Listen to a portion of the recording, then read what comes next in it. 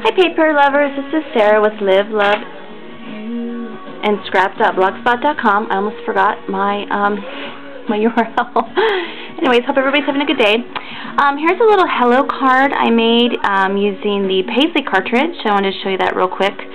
Um, I have been wanting to use the Paisley cartridge for a while, but just haven't um, played with it much. But I was looking through my Die Cuts with a View green stack, and I just fell in love with this um, mushroom paper. And as soon as I saw it, I remembered that Paisley had a bunch of mushrooms on it.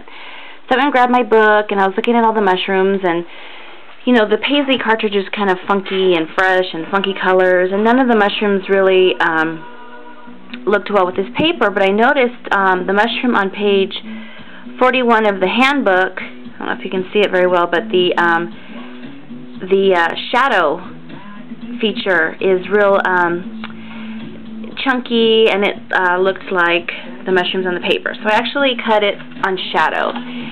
And um, I wanted to try to match up one of the mushrooms in the paper.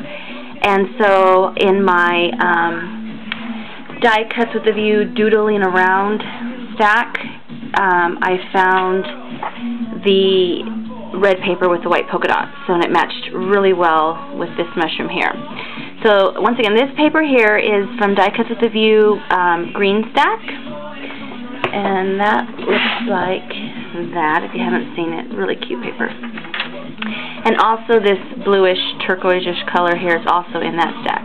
And then this is from the um, Doodling Around. Um, the, oh, sorry, so I cut that twice, and then I just trimmed off the trunk on this one and then layered it.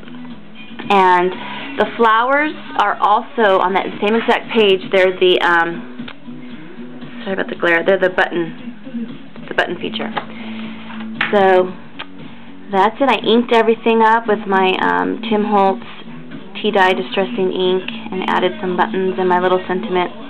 Hello. And that's it. It was a real quick card and I'm kind of happy with the way it came out. It's a little bit um, different for me and um, I think it turned out really cute. So uh, thanks for looking and have a blessed day.